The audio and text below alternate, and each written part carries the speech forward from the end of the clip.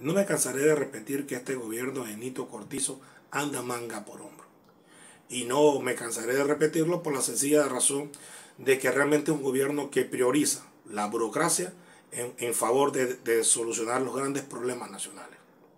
Por ejemplo, ahí tenemos el alza del combustible, que hace que transportistas de Panamá Oeste salgan a las calles y no brinden sus servicios.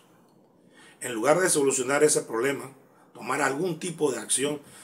No, ellos no toman ninguno, lo que afecta entonces a la población de Panamá Oeste. Igual están las escuelas públicas. Los padres salen a protestar porque no tienen quien les resuelva los problemas de trampa de muerte donde estudian sus hijos.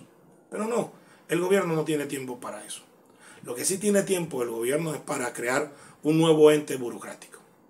A priori, el Ministerio de la Mujer que acaba de ser presentado ayer en la Asamblea Nacional por la ministra de Desarrollo Social, debería ser un motivo de orgullo de nosotros los panameños, porque entenderíamos que es una institución creada para proteger los derechos humanos de la mujer, para equipararlas salarialmente y evitar la violencia machista.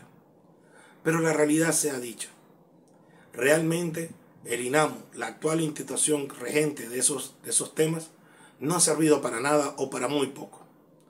Y lo que vemos entonces es una situación que es inaceptable.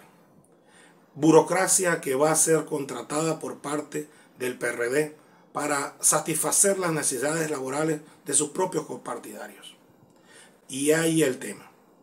No tenemos políticas públicas en nuestro país más allá de la vil politiquería que nos ha demostrado el PRD por casi tres años. Este tema debe ser tratado de manera eh, seria, de manera coherente con políticas públicas de organismos internacionales. Pero al final veremos, queridos tertulianos, que en este país eso es lo que hace falta. Políticas públicas serias.